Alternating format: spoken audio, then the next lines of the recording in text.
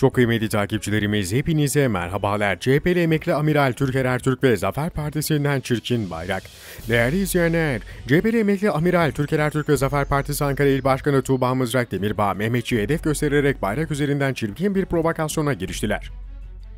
Çatalca'da 1200 kaçak yapının yıkım kararı alınması üzerine bölgeye giden kolluk kuvvetlerinin yıkımdan Türk bayrağının zarar görmemesi için tedbir aldığı anlara ait video sosyal medyadan çarpıtılarak paylaşıldı. Mehmetçiği bayrak düşmanı gibi gösteren Ertürk, memleketin askeri, jandarması ve polisi var demeyeceksin. Bayrağına ve vatanına sahip çıkacaksın paylaşımını yaptı.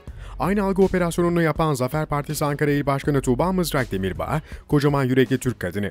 Başka işleri yokmuş gibi ilk işleri bayrağı indirmeye çalışmak olanlara engel oldunuz ya, Allah sizden razı olsun ifadelerini kullandı. Görüntülerin deprem bölgesi veya iddia edildiği gibi bayrak sökmeyle herhangi bir ilgisi bulunmuyor. Aksine kolluk kuvveti yıkım esnasında Türk bayrağının yere düşmemesi ve zarar görmemesi için çaba gösteriyor. Haberimizin sonuna geldik. Sizlerden kanalımıza abone olmanızı, videolarımızı beğenmenizi ve nokta dahi olsa yorum bırakmanızı rica ediyoruz. Bir sonraki haberde buluşmak üzere, hoşçakalın.